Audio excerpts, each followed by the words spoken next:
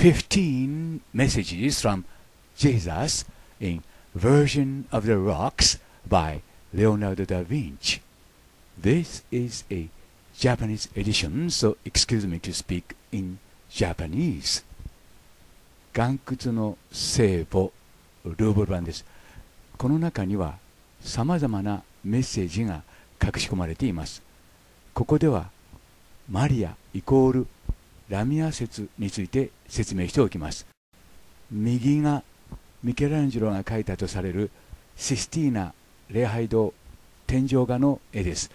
この中央に描かれているのがですね、以前はリリトと言われていましたが、ラミアです。セント・ジェロームの翻訳したラテン語の聖書の中ではラミアになっています。つまり下半身大蛇のですね、悪魔中の悪魔ということになります。そのラミアイコールマリア。マリアのアナグラムがラミア、あるいは反対かもしれません。ラミアイコールマリアです。そして左のようにダ・ヴィンチもラミアを描いています。このマリアの下半身は大蛇であると判断しました。その理由はこれから少しずつ話していきたいと思いますけども、このマリアに注意してください。後ろの岩石の風合いと衣服の風合いが同じであるという点に注意してください。つまり連続して衣服と後ろの岩石がつながっているということです。つまり一体として一人の魔女、すなわちラミアを表現しているということになります。ちょうどお腹のところに蛇の頭を模した奇妙な衣服を着ている点も気になります。まあ、つまりこのような形でレオナルド・ダ・ヴィンチはですねこの謎のヒントを書き残したということになりなります。でこの中央のマリアにもう一度注意してください。ここがこの動画の今日の最も重要なポイントということになります。まあマリアの体はですねこのように後ろの岩石と一体化してつながっているということになります。ラミアイコールマリアです。ラミアというのはですね、まあ、人間の子供を食べる魔女として恐れられていました。でマリマリアということになるわけですけどもここにその説明がありますがそれはあまり重要なことではありません。要するにマリアが岩窟の聖母の中につまりはラミアとして描かれていたということです。で右側のエンゼルと言われている人物の足に注意してください。右足が見えますが指は3本です。手前から4本目はですねこれは指ではなくて葉っぱですね。左の葉っぱと色が同じである点に注意してください。つまりこれも騙し絵隠し絵ということになります、まあ、少なくとも4本は確認できるわけですけども5本目はということになるわけですけども3本足の魔女ということになるわけですね。ストリックスです。右は以前はリリトと言われていましたが現在はイナンナ・イシュタール説で落ち着いているようです。この、まあ、人物もですね足の指が3本です。3本指である点に注意してください。同じ指がですねこの右のエンゼルに描かれているということです。がこの姿勢ではですね前の方にバッタンと倒れてしまうはずです。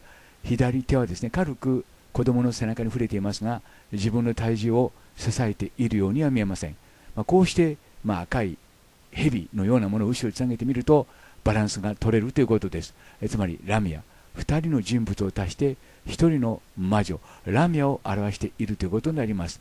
これが、まあ、この絵の中に残された証拠ということになります。えつまりここに描かれている聖母マリアはマリアではなくて下半身大蛇の魔女。すなわちラミアであるということを示しています。続く動画の中でこの岩窟の聖母の中に隠されている15の秘密について話してみたいと思います。もう一度ここで確認しておいてください。2人の人物を足して1人の魔女すなわちラミアを表しているということです。なぜこんな絵を描いたかですね。それについては別のところでさらに詳しく論じてみたいと思います。Bye for now.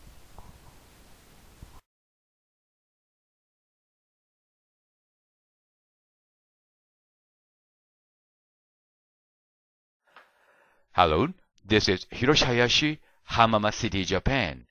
15 messages from Leonardo da Vinci, version in a rock cave. It's my great pleasure that I can show you 15 messages in this video clip from Leonardo da Vinci, the greatest artist of the world, as well as in the history. ダヴィンチからの15通のメッセージ。まあ、そのメッセージを紹介します。 まず第一のメッセージです。これがルーブル版の岩窟の聖母です。で、この、まあ、絵でですね、最初に気になるのがこのマリアの右手です。と言いますか、右指ですね。このマリアの右指がですね、イエスの皮膚の下に潜り込んでいます。えー、大変重要なところですから注意深くご覧ください。えー、縦線がですね、これがあの皮膚の境目です。その下にマリアの指が、まあ、滑り込んでますね。そして、その上にイエスの皮膚がかかっています。これは、まあ、衣服なのか、皮膚なのかということになるんですけども、まあ、どう見ても皮膚ですね。なぜダヴィンチはこんな絵を描いたかということですね。で、奇妙な皮膚について考えてみます。左がイエスです。で、このイエスの体を見てみます。で、全体にですね、まあ胸から下、薄い膜で覆われているのがわかります。この腹の上の部分ですね。この腹の上の部分で皮膚が白くめくり上がっているのがわかります。そして左足のところでもめくり上がっています。で、これをよく見ますと、やはり皮膚がめくれ上がっているってことになりますね。足の方も、こう、皮膚がめくれ上がっているのがわかります。まあ、わかりやすく言えば、脱皮してるわけですね。で、まあ、脱皮ということで、爬虫類の脱皮と、まあ、同じように考えていいかどうかわかりませんけども、爬虫類は脱皮します。そして、めくれた皮膚は、まあ、今のイエスの皮膚のように白くなっています。まあ、奇妙な位置と言いますか。逆に言いますと、ダヴィンチはイエスをこのような形で表現したということになるわけです。もう一度見てください。上が爬虫類、下がイエスの、まあ、皮膚ですね。足の皮膚です。このように、まあ、皮膚がめくれているということです。さらに、まあ、爬虫類とですね、爬虫類の脱皮とイエスの体の皮膚と比較しています。大変よく似ていると言いますか、めくれたところでですね、白くなっているのがわかります。なわち、ダヴィンチは明らかにイエスの体をですね、レプタリアンとして表現しているということになります。次に、まあ、この三本指の、まあ、ガブリエルの足です。ここに、ルブール版の方ではですね、足が描かれています。で、この足をですね、当初私は4本、あるいは5本と見たわけですけども、向かって一番右の白い指はですね、これは指ではなくて、周りの、まあ、落ち葉といいますか、石と同じ色であることあることがわかります。すなわち、一番右の、まあ、白いのはですね、他の、まあ、指、3本の指とは色も形も違うということですね。となると、この白いのは、どうも指ではないということになります。すなわち、騙し絵、あるいは隠し絵ということになります。まあ、ダヴィンチはですね、こういう形で3本指のガブリエルを描いたというふうに考えられるわけですね。まあ、この白いのを指と入れるか、さらにもう少しなんとなく左、あ向かって右の方に指があるような感じがします。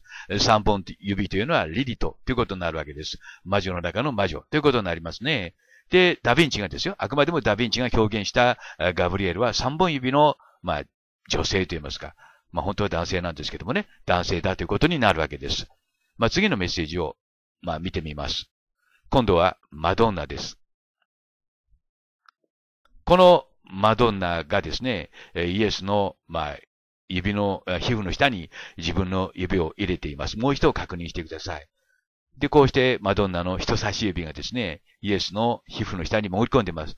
と同時に、この指がですね、どうもおかしいんですね。親指の長さと人差し指の長さを比較してみてください。異様に長いと言いますか、普通でない長さであることがわかります。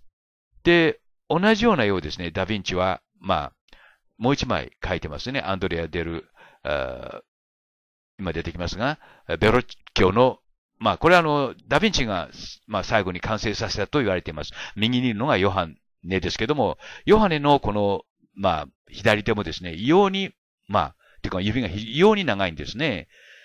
で、まあ、細いと言いますか、痩せてるからこのように見えるかなと思うんですけども、やはりこう、なんて言いますか、指の長さを比較してみますと、まあ、皆さんご覧になっている通りに、まあ、日本人の手とは違うのかなと思って思っては見るんですけどね。右の方はこれ女性の手ですね。まあ、日本、まあ、アジア人の女性の手ですけども、まあ、それ、直接比較することはできませんけども、やはり私たちが持ってる、まあ、通常の感覚ではちょっと理解できないほど、ヨハネの指は長い。同時に、えー、マドンナの指も長いということになります。その長い人差し指が皮膚の下に潜り込んでいるということになりますね。で、なぜこういった、まあ、絵をですね、ダヴィンチが描いたかということなんですね。言い換えますと、ダヴィンチは、まあ、ここに書かれている人が人間でないということを表現したかったのではないかと思います。次のメッセージに移ります。今度はマドンナですけども、このマドンナも、実に、まあ、謎めいているわけです。で、これ全体を見ますとですね、この、まあ、ここに中心にマドンナがいるわけですけども、この後ろの岩とですね、マドンナの体が同じ色、同じコンセプトで描かれているということなんですね。で、色温度をいろいろ書いてみたんですけども、まあ、どのように書いても同じ色として同じように表現されているということなんです。で、この、まあ、色温度ということは、まあ、同じような、まあ、絵の具を使ったということですね。わかりやすく言えば。そして繋いでみますと、このマドンナの体が大蛇になっているということ、風にも理解できるということなんです。で、まあ、あの、胸に抱かれているのはこれ蛇の、まあ、なんてますか、蛇を模したものであるというふうにも考えられますよ。私はそのように考えています。で、まあ、いろいろと色温度と言いますかね、あの、色を描いてみましたが、着色はしてませんよ。全体の色温度を描いてみましたが、やっぱり、後ろの岩とマドンナの体が、まあ、同調しているってことになります。となると、このマドンナは、まあ、隠し絵手法で、まあ、下半身がですね、上半身は人間では、ですけども、下半身は大蛇として描かれているということになります。まあ、岩、岩がね、連続性を持って、マドンナの体と繋がっているということですね。そして色も同じだということなんです。で、これはじゃあ誰かということなんですけども、まあ、上半身が人間で、下半身がまあ大蛇ということになりますと、ギリシャ神話でいうラミアになるわけですね。いわゆるリリーと、あるいはマリですね。えー、ヘブライ語でマリ、ラテン名でマリアとなるわけです。まあ、これラミアについての説明ですけども、まあ、この英語版のウィキビデオの方でははっきりとラミアイコールマリと書いていますね。そしてそのマリというのはラテン名でマリアと。まあそういう風になっています。そのマリアが、まあ、あの、ヘリオ、ギリシャ神話でいうヘリオスと組んで、まあ、まあ、キリスト教を立ち上げる。だというふうに私は判断しています。で、このマリは魔女町のマリでですね、洞窟に住んでいるということなんですね。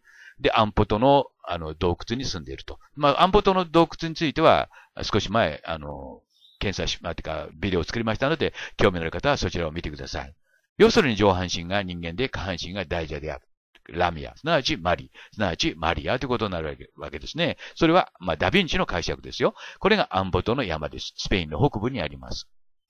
で、このもう一見ていただきたいんですけども、この、まあ、マリ、あのそばにですね、まあ、まあ、マドンナのそばに、まあ、これはあの、洗礼を受けるイエスですけども、まあ、この絵とですね、この蛇の、私先ほど蛇って言いましたけども、まあそ、そちらのにもこう、ちょっと奇妙な絵が描かれてるんですけども、これは蛇を模したものであると。同時に、右の洞窟の聖母、炭窟の聖母の膝か、まあ、膝のところにいるのは蛇というふうにも考えられるということですね。これも隠し絵の一つです。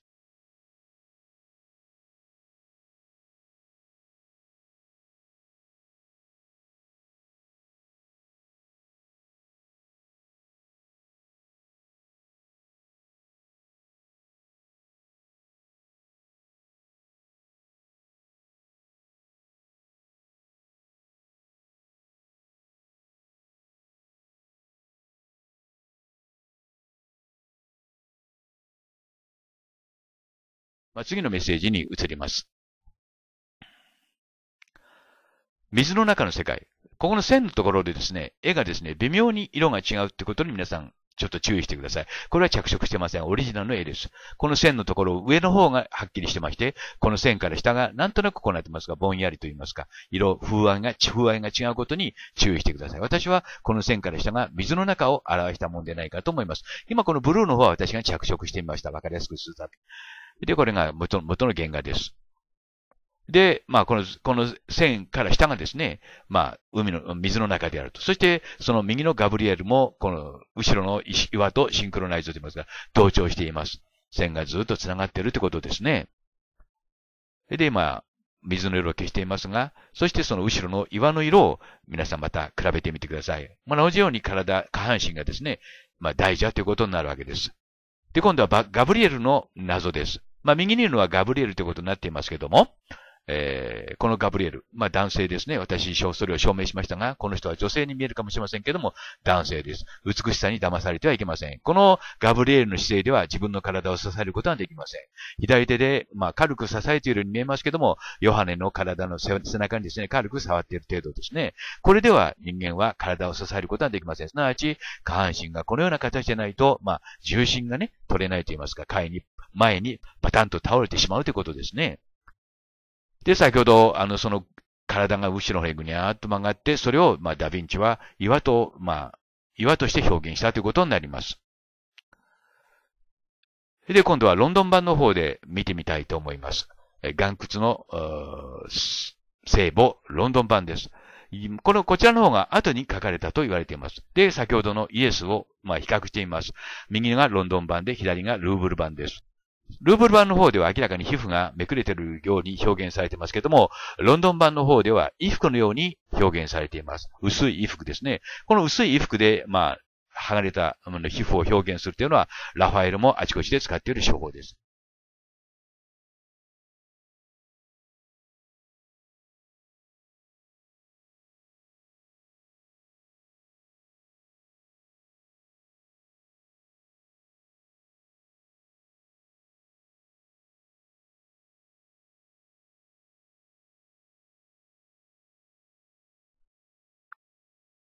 まあ、このようにまあ、ダヴィンチは訂正したというふうに考えられるわけですね。で、ガブリガブリエルはレプタリアンです。まあ、爬虫類型の人間、混合種ですね。あくまでもダヴィンチの解釈によればということですよ。で、これはガブリエルですけども、この人は男性ですね。まあ、そのことは今日は、あの、私の少し前のビデオまたご覧になってください。で、これはミケランジェロが描いた脂質な天井画の天井画です。この中に同じ顔の人が出てきます。で、ダヴィン、じゃミケランジェロはですね、まあ、女とも男ともわからない絵を、って言いますか、みんな正反対の顔、てか、中学の絵を描いてますね。ほとんど恋愛ありません。で、こうして比べてみますと、まあ、この、ミケランジェロの描いた右の、まあ、絵はですね、顔はですね、左のガブリエルを模したものだということはわかります。まあ、目の開き具合が違いますから違って見えますけども、右の人はこれ男性なんですね。この前後に何枚か同じ絵が描いてありますけども、みんな男です。ついているものはついています。そして、この、まあ、この人の背中を見ますと、見てくださるとわかりますように、ヒレがついています。レプタリアン特有の、まあ、ヒレですね。レプタリアン型人間の特有のヒレがついています。いわゆるまあ、爬虫類のヒレヒレがついているということなんですね。ということで、まあ、ミケランジェロは、この人がですね、左の人がガブリエルが男性であり、レプタリアンであることを表現しています。また、あの、ミケランジェロの描いたね、絵の方では、まあ、こういうふうに皮膚が二重になっていることはわかります。ぼんやりとしているのは皮膚が二重になっているというところですね。私は当初これ絵の具の、まあ、塗りムラかなと思ったんですけどもね、そうではなくて、明らかにミケランジェロ左の上を見ていただくとわかりますように、線で描いています。なあち、皮膚だということですね。まあ、先ほど言いましたように、ラファエロも同じ手法で、まあ、レプタリアンの、まあ、まあ、マリア、そしてイエスを表現しています。で、こうして比べてみると、やはりこうなってますか、あの、右の人はレプタリアンということになるわけですね。これミケランジェロの描いた絵です。そしてもう一度、えー、先ほどのルーブル版の、まあ、イエスと比べていただくとわかりますように、正確にと言いますかね、あの、腰から下と言いますか、胸から下はイエスの体は二重線になっています。で、その、めくれてる、めくれた後の、お腹から上は、あの、線が、輪郭がくっきりとしています。まあ、このように、まあ、正確に表現しているということですね。となると、やっぱりこれは、皮膚がめめくれているということになるわけです。まあ、はっきり言えば、脱皮しているということになるわけですね。で、次のメッセージを見ています。今度はイエスの右手に注意してください。私これですね、あの、精細な、まあ、写真が手に入らなかった時にはですね、関節が3本あるというふうに言いましたけども、今回、まあ、精査してみてですね、それは間違っていました。それをここで訂正しながら、と同時にですね、この指を、まあ、イエスの手を見ていただきたいんですけども、極めて精緻に書いてあるということなんですね。それで実際の子供の手と比べてみますと、あの、なんて言いますか、この関節のところの日本線。右は写真ですよ。左はダヴィンチの解体ですけども、まあ、極めて正確に表現してあるということですね。まさにこれは驚くべきこと、イコール、まあ、これは写真技術を使って書いたということが、まあ、こういうところからも証明できるわけです。まあ、合成写真ですね、はっきり言えば。では、では次のメッセージを見てみます。これは奇妙な体ということで、というメッセージですね。このマドンナの体ですね。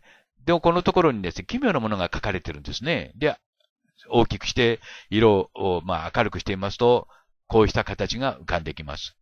輪のような、なんて言いますかね、リングのようなものがあって、下に髪の毛のようなものがぶら下がっています。私これヘアピースかなと思ったんですけども、影とも取れるわけですね。やはり隠し絵手法だと思います。まあこれは何かということなんですね。が、ここの部分だけ見てるとわかりませんが、もう少しこう、視点を下げて見てみますと、これが何だ、何であるかが、まあ、おぼろげながらと言いますか、変わってくるわけですね。まあ、これは今言いましたロンドン版です。で、これはですね、もう一度見てみますと、このマドンナの下半身がね、どうもおかしいんですね。というのは、その、まあ、足が2本あるはずなんですけども、全体に1本のようになっています。真ん中に薄くこう線がありますから、まあ、足が2本あるかなと思うんですけど、それは後ろの方へ、右後ろ、左後ろの方にぐにゃーっと曲がってる感じがしますね。そしてその曲がったところに先ほど言いました奇妙な形のものは、あの、ちょうどイエスの手の上あたりに映り込んでるわけです。これは足というよりも何かしらこうね、あの、鱗のような感じがしないでもありません。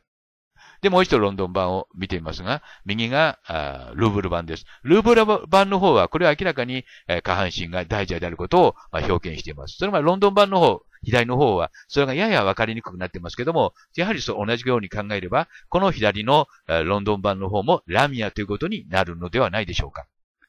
次のメッセージを見てみます。で、今度は水の中にいる、まあ、ドラゴンですよね。ここに、まあ、これはロンドン版の方ですけども、岩が描き込んでありますけども、これ明るくしますと、あの、ドラゴンのように見えるんですね。こうした隠し絵っていうのは、まあ、ダヴィンチが得意だったと言いますか、あの、この後にそのビデオをつなげておきますから、また見てください。隠し絵だらけの絵を皆さんに紹介します。まあ、これドラゴンじゃないのかな。まあ、これちょっとは確信持てませんが、まあ、そういうふうに考えられるということですね。で、今度は二人のマリアの話です。中中央にいるのがマドンナということになります。聖母マリアですね。そして左のがイエスということになるわけですけども、このマドンナ、まあイエスが幼子ですから、まあイエスがまだ子供の頃のマドンナということになります。そして皆さんご存知のですね、えー、最後の晩餐に出てくる女性がいますね。これはもうマグダラのマリアということでもう定説化しています。イエスの向かって左側にいるのがマグダラのマリアです。で、この二人をですね、比べてみますと、全く同じであることがわかります。で、右がマドンナ、左がマドマグダラのマリアということになるんですけども、まあ、このイエスのこの年齢になります。これはもしマリアだとするならば、マリアは50歳を超えてるはずですからね。こんな若々しくはな、ではないはずです。そして比較してみますと、ここのまあブローチと言いますかね。では、それから目の感じ、それから目、目ですね。特に、それから体の傾きも揃えてみますと、全く同じですね。首の傾き方ですね。そして、この赤いライン。そして、あの、縮れ毛ですね。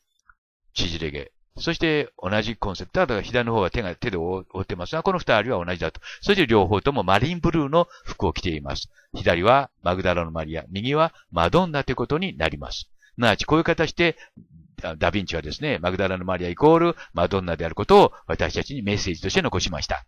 そしてもう一度悪魔の足ってものをちょっと取り上げてみたいと思います。先ほどここに言いましたようにガブリエルの右足がここに描かれています。まあ、ちょっと見にくいんですけども、まあ、あの、明るくしてみますと、その足が浮かび上がってきます。まあこれも一つの隠し絵ですね。そして一番最初、前に言いましたように、一番向かって右の白いのが、これは指なのか、あではないのかですけど、色がちょっと違いますね。それを勘案しますと、やはり三本指だということになるわけです。三本指のガブリエルってことになるわけですね。このガブリエルは男であることを、まあ少し前のビデオで証明いたしました。女性ではないんですよ、皆さん。そしてこの三本指と言いますと、リリとの、まあ指と一致するわけです。まさに魔女中の魔女ということになるわけですね。で、これはあの、はい。まあ、そういうことです。そして、この三本指の、まあ、リリと、すなわち、まあ、先ほど紹介しましたように、あマリですね。そして、ヘブライ語でマリ。それからラテン、ラテン名がマリアとなって、受胎国史の中にも描かれています。受胎国史の中のマリ、右のマリアと左のガブリエルはですね、二人、1たす1は1で、一人の、まあ、リリトを表現していると私は判断しました。ここにですね、フクロウの、まあ、フクロウというのは、まあ、魔女の代名詞ですけども、フクロウの足、置物の足のところにですね、マリアの足がちょろんと出てるのがわかります。こういう形で、ダヴィンチはマリアが魔女であることを示しました。三本指の足ですね。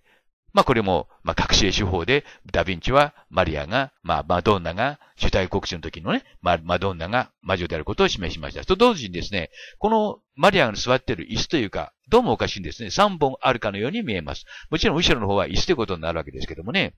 で、同じような絵をですね、えー、ミケランジェロが描いています。これはもう一回戻りますけども、システィーナ礼拝堂の天井画です。で、ここにですね、まあ同じような女性が描かれています。まあ中部からご覧くださいね。で、ここにも、まあ、三本足の女性が描く、女性じゃないんですけど、これ男性ですよ。まあ、本当にね、もう男と女がね、混乱しますが、この人がそうなんですね。で、この人はですね、まあ、三通りの考え方できるんですね。右二本と、で一組。あるいは左二本で一組。あるいは、右と左の足首で一組。まあ、これで二組の方、あの、コンビネーションを紹介しますけども、この左、一番かって左の足がですね、骨が剥き出しになって、中の骨髄液が外に出ています。骨髄の様子も正確にミケランジェロは表現しています。茶色ですね。そして、まあ、まあ、残酷な絵ですよ、これね。こういう形で、まあ、三本足を、の、まあ、まあ、人を描いたわけです。まあ、これ、これら両方がですね、同じ人だということは、衣服の、あの、色を見ていただくとわかります。で、こうして、まあ、ミケランジェロはダヴィンチの絵を茶化したということになるわけですね。これは森本さんが発見してくださって私に教えてくださったんですけども、後ろに一人の男がいますね。この人は一見すると若い男に見えますけども、これも騙し絵なんですね。見方を変えますと、もう一人の、まあ、悪魔のような人が後ろに描かれています。まあ、こうした隠し絵は、システィーナの天井画のあちこちに描かれています。それについてのビデオを作りましたからまたご覧になってください。で、この赤い、右のですね、赤い服を着た人。これは男性なのか女性なのかということなんですけども、まあ、その前にちょっと衣服を表、あの、比べてみていただきたいんですけども、襟のところですね。同じような色です。まあ、色が合わせてるってことも考えられるわけですけども、衣服の色は同じですね。そしてベルトがあって、その下のですね、スカート、まあ、マドンナの色の、あの、いわゆる、まあ、ベルトです。ベルトとですね、そして右の人の腕の色が一緒ですね。で、右の人は一見女性に見えますけども、たくましい腕を見ますと、これはどうも女性ではないということな胸も小さいですね。まあ、これを二人は同じ人物であるというふうに私は考えています。なわち、ミケランジェロはこのようにして、マドンナは男であるということを茶化したわけです。まあ、一見この女性の顔に見えますが、この顔に騙されてはいけませんよ、皆さん。例えばこの人は一見すると女性に見えますが、ついているものがちゃんとついているんですね。これがミケランジェロの絵の特徴なんですね。特にシスティーナの礼拝堂における絵はですね、このように男と女が全部逆転しています。女の人かなと思うんですけども、体には、体は男性です。やはりついているものがついています。で、次の人もそうなんですね。この、この前後に書いてある絵なんですよ。この人も女性かな優しい顔かなと思うんですけども、やはりついてるものがついてる。すなわち、右の人は、これは男性であると判断します。次の、まあ、結論ということになりますけども、まあ、結論は冒頭に挙げました、まあ、絵が、まあ、最初で、まあ、すべてを物語っていますね。上が、まあ、爬虫類です。下が、あそれを模したイエスの体です。体の皮がめくれているのがわかります。まあ、このように形でですね、あくまでもダヴィンチがですよ。私じゃありませんよ。ダヴィンチが、あダヴィンチは、イエスはレプタリアンであることを、まあ、こういう形で表現したわけです。で、これもそうですね。上の方が爬虫類で脱皮しているところです。下がイエスの体の皮膚の様子です。まあ、このように考えてますと、イエスがどのような考え、イエスじゃなくてダヴィンチがですね、イエスに対してどのような考え方を持っていたかが理解できます。ということで、今日はえダヴィンチからの15のメッセージについて話しました。どうも最後までご覧くださいましてありがとうございました。Thank you very much and bye for now.